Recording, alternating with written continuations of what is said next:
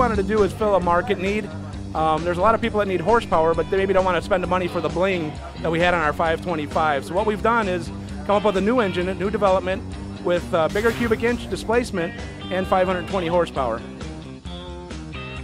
The 520, I think, would be a real good candidate, uh, especially for our 28.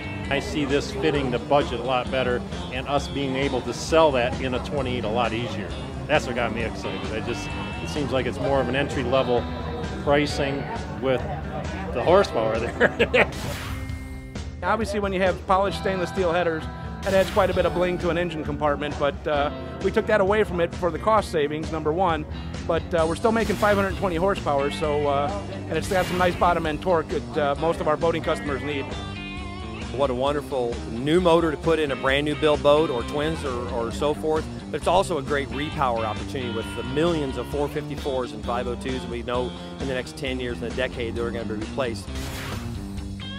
We don't want to abandon any of our target, uh, our normal customers that are known as performance builders, but would also like to open up this market to those that are uh, a little bit heavier, a little bit bigger, mid-engine boats. Uh, so we'd like to open up the market to a lot of different people that could really benefit from the added cubic inch torque uh, that that makes and the added horsepower.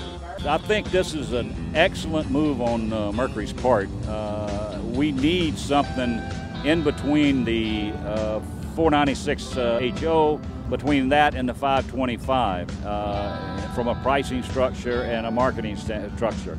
I think that that 520 is just the answer to what we've been talking about. I've built actually hundreds of boats uh, with motors like this, the 500 Merc and the 525. And this is a real, real big value for a small, small price for what they offer. And in addition to that, it has digital throttle shifting and got cast headers. It's going to be a, a great trouble-free, bulletproof engine at a great price.